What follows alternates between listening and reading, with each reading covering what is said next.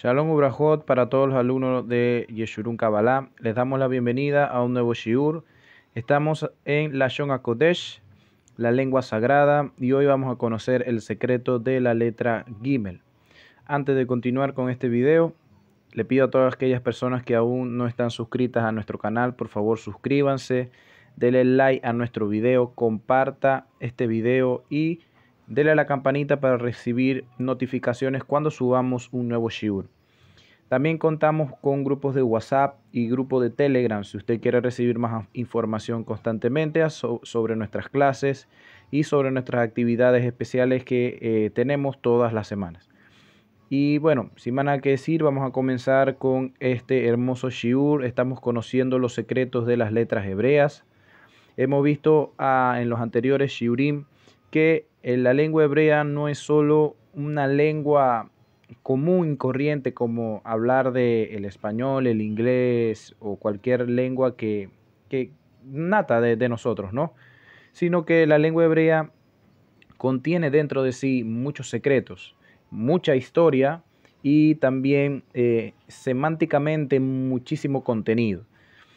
Ya hemos visto dos letras en, en el alefbet Conocimos la letra Aleph, conocimos también la letra Bet y ahora estamos en la letra Gimel. Vamos a hablar un poco de ella, a conocer un poquito de sus secretos y a ver qué nos puede enseñar esta hermosa letra. Tenemos la forma de la letra Gimel en su etapa de evolución. Tenemos el protosinaítico. A mano izquierda podemos ver que parece como un tipo de L Luego tenemos el paleohebreo, que es la misma forma, pero ahora de cabeza, ¿no? Como si hubiese dado una, hubiese rotado 360 eh, grados. Bueno, no, 360 grados no, hubiera dado media vuelta, ¿no? Sería 360 grados sería volver al mismo punto. Pero en este caso es como lo de abajo, la parte de abajo que lo hace ver como una L, ahora está desde arriba y eh, la L o la, superficie que queda de manera eh, horizontal está inclinada, más inclinada hacia, abajo. Y vemos el cambio en el hebreo moderno, en el hebreo de Esdras, cómo ya evolucionó, aunque su trazo primordial sigue vigente, que es esa forma de 7, ¿no? Porque también parece un 7, en el paleohebreo parece como un número 7 pero en el hebreo moderno evoluciona, se parece a algo muy, muy, muy, muy familiar. Tal vez muchos ya estén pensando en, lo que se parece, ¿no? Eh, como una vez mi esposa me dijo, cuando estábamos aprendiendo hebreo, ella me comentaba, amor, ¿cuál es la, ¿cómo es que se llama la letra que parece un tacón? Un tacón, ¿cómo que un tacón? sí, amor, hay una letra hebrea que parece un tacón y hasta que ella me la enseñó y vi que era la letra Gimel. Es gracioso, ¿no? Pero realmente tiene una forma de tacón, de zapato. Así que esto tiene un significado. No, esta forma no está al azar ni está accidental, ¿no? Tiene un gran mensaje detrás. Y es lo que vamos a estudiar a continuación.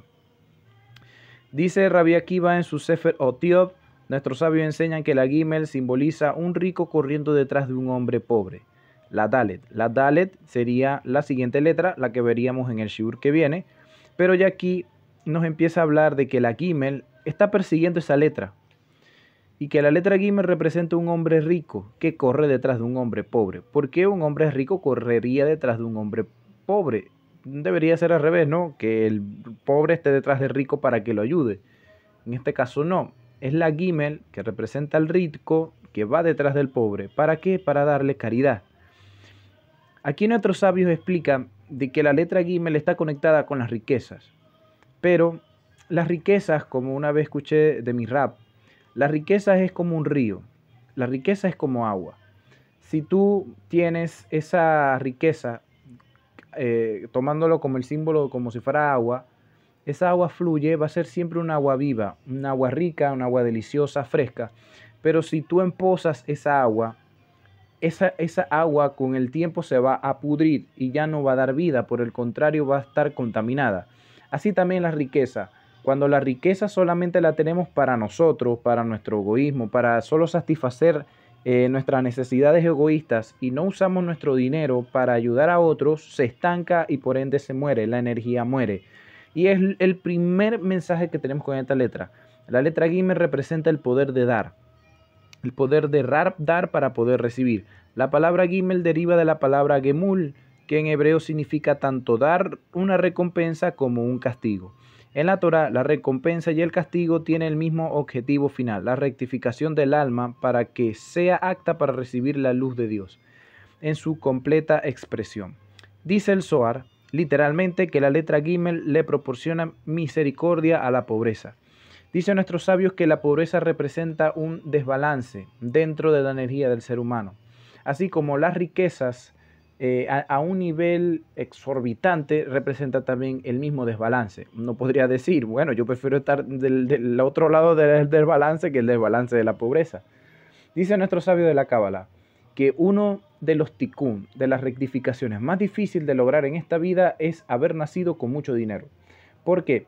Porque la persona que tiene mucho dinero no tiene la necesidad de Dios, mientras que el pobre constantemente tiene a Dios en la boca no significa de que todos tenemos que ser pobres para poder alcanzar la misericordia divina, sino que cuando la persona es pobre, mayormente se acuerda y necesita de Dios. Está más vulnerable en ese sentido, mientras que la persona cuando es rica, cuando lo tiene todo en la vida, cuando nunca ha trabajado en su vida, no le importa nada, simplemente para qué va a necesitar a Dios si ya está bien. Así que este pensamiento mayormente los, tienen las personas que tienen demasiado dinero. Por ende, su tikkun es muy difícil de alcanzar porque nunca dentro de ellos va a haber la necesidad de acercarse a la divinidad. Por ende, el dinero es un desequilibrio. El dinero en sí, bien sea si falta o bien sea si sobra. Así que existe una medida precisa para el dinero. De ahí eh, la palabra hebrea para sam, que también se le puede atribuir el término de dinero. En el caso del Sam, en hebreo, quiere dar a entender una medida donde haya lo suficiente para disfrutar y para compartir, pero que no haya menos para que entonces no podamos nosotros compartir. Existe una medida justa.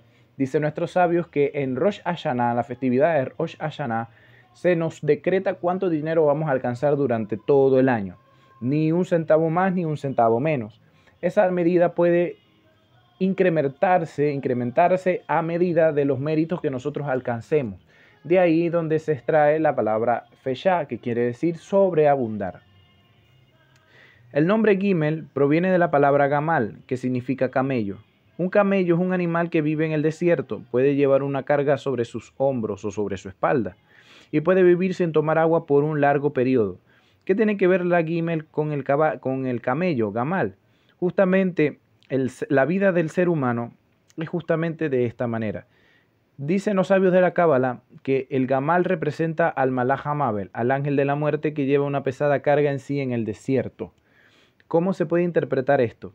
La vida del ser humano es estar en un desierto constante. Lleva una carga muy pesada llamada deseo de recibir. Pero cada vez que el camello llega a un estanque de agua, el camello toma por horas y horas agua. Justamente el camello está diseñado eh, inteligentemente por Akadosh Barujú para que el camello resguarde dentro de sí una gran cantidad de agua, para que en el largo viaje por el desierto no muera de sed, ya que él puede utilizar esas reservas de agua que tiene dentro. Los que conocemos la Kabbalah entendemos que cuando se habla de agua estamos hablando de la Torah, del, secreto de los secretos del cielo.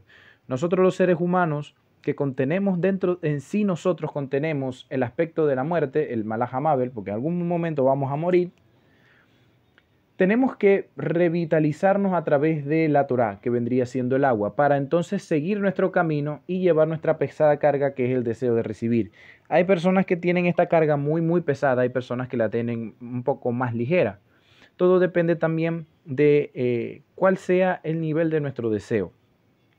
La letra Gimel tiene un valor numérico, es de 3, y esto tiene varias implicaciones.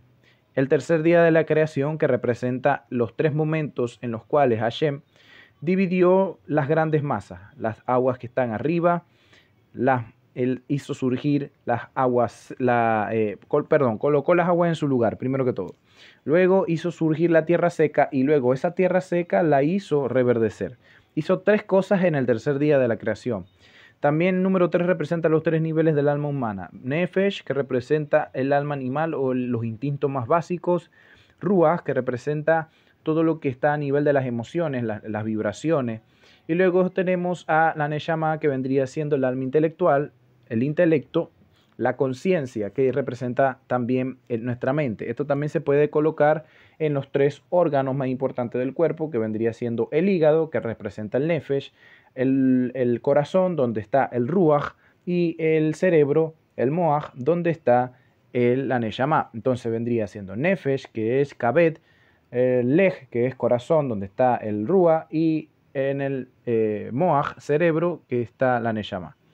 Esto es lo que representa justamente también los tres patriarcas, Abraham, Yisai y Jacob. Abraham, Yisai y Jacob representan tres sefirot en el árbol de la vida. Abraham representa la sefira de Gesed, Ja representa la sefira de Geburah y Jacob representa la sefira de Tiferet y también representan ellos, su historia. Las Sefirot representan también las tres tefilot diarias, Shehari, Minha y Arbit. La vida de Abraham Avino es la oración del Shahari. La vida de Hija Avino, que está ligada con la de Abraham Avino, habla sobre la tefila Minha, la oración de la tarde. Y la vida de Jacob Avino representa la tefila Mari Arbi, la tefila de la noche. Porque Abraham, Jacob se acostó y soñó y vio que bajaban y subían ángeles. Esto fue en Betel. Entonces vemos cómo en la letra Gimel representan las tres conexiones con el aspecto de tres. Justamente también tres es, el, es la forma del triángulo y el triángulo es una merkabah. Si vemos la estrella de David, el Maguen David, son dos triángulos que están eh, unidos. Uno va mirando hacia arriba y el otro va mirando hacia abajo. El triángulo que mira hacia arriba representa a, a Aarón Jacoem. A Aarón Jacoem tenía la, labor de tomar lo que estaba abajo y elevarlo hacia arriba. Pero el de Moshe era tomar lo que estaba arriba y hacerlo descender acá abajo. Es lo que representa el triángulo que está hacia abajo, el Maguen David. Y estos son tres, son tres puntas. La unión de los tres que vendrían siendo seis. También esto representa al hombre y a la mujer porque los tres niveles del alma del hombre y los tres niveles del alma de la mujer hacen un Maguen David. También hay un mensaje bastante eh, peculiar en la forma de la letra Gimel en el trazo de Esdras Asofer.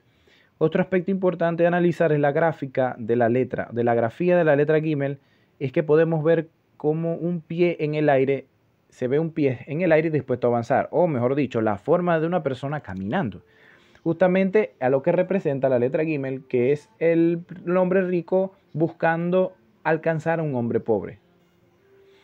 Según el Sefer Yexiran Mishnah 4, dice, haz que la Gimel reine sobre la riqueza. Aquí está la rectificación de lo que estamos hablando, que la Gimel habla sobre el dinero.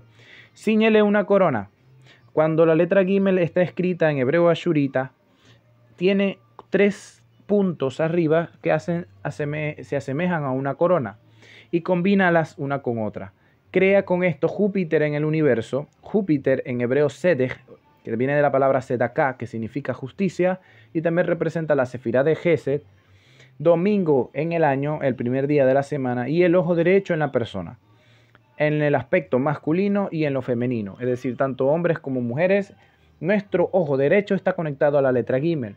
Cuando tenemos cataratas en los ojos, cuando tenemos alguna molestia en los ojos, tenemos que revisar el por qué. Dice nuestros sabios en la Cábala que nuestro cuerpo está compuesto por letras hebreas. Ya estamos viendo esto desde la primera letra, es la letra Aleph que representa los pulmones, la Bet que representa el ojo izquierdo y ahora la Gimel que representa el ojo derecho. Así que cuando hablamos de ojo derecho y hablamos de Júpiter que vendría siendo Sedej, justicia que representa este planeta, la Sefirá de Geset en el cosmos, estamos hablando del aspecto derecho, del lado derecho del árbol de la vida. La letra Gimel está conectada con la misericordia y con el Geset, pero ¿cómo se activa esa misericordia y esa Geset y ese Geset a través de la ZK? ¿Por qué a través de la ZK? Porque el rico corre a darle al hombre pobre. el hombre pobre representa la oportunidad de darle al rico el propósito de su riqueza. La riqueza no es nada más que la oportunidad que Akadosh Baruj le da a las personas para poder distribuir lo que Hashem les dio. Muchas veces la gente cree que es rica porque trabaja mucho tiempo, porque trabaja muchas horas, porque es más inteligente que los demás y realmente no.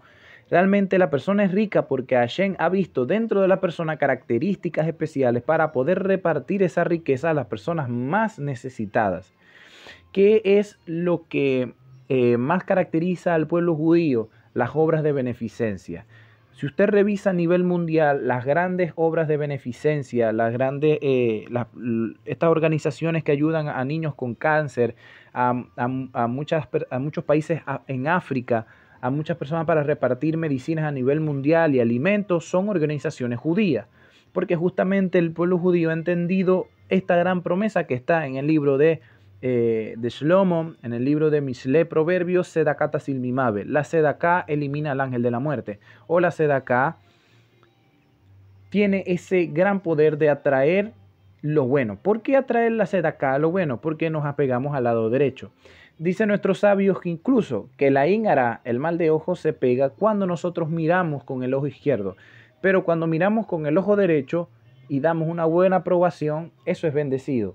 ¿Qué significa esto? ¿Que no podemos mirar con los dos ojos al mismo tiempo algo? No. Esto es un mensaje. También está escrito en el libro Proverbios, quien tiene buen ojo será bendecido. Es decir, quien mira con el ojo derecho. ¿Cuál es el sop de esto? Quien ve todas las cosas desde el aspecto de la gimel, desde el aspecto del lado derecho, desde el aspecto de la sedacá, de la justicia y de lo bueno, de la bondad, va a ser bendecido. Y este es el secreto de la letra gimel. Para aquellas personas que quieran contribuir con nosotros, tenemos nuestras cuentas de PayPal, Western Union, Bancolombia, Banesco, Venezuela. Para aquellas personas que quieran unirse a nuestro grupo de Telegram y de WhatsApp o de WhatsApp, tienen los links acá abajo en la descripción del video. También tenemos cuenta en, tele, en Instagram, arroba Yeshurun y en Facebook como Yeshurun También nos pueden encontrar allí. Y se recuerdan de eh, nuestro canal de YouTube, si no está suscrito, por favor suscríbase, comparta el video para que más personas puedan escuchar estos secretos maravillosos. Así que nos vemos en una próxima letra. Shalom Ubrahot.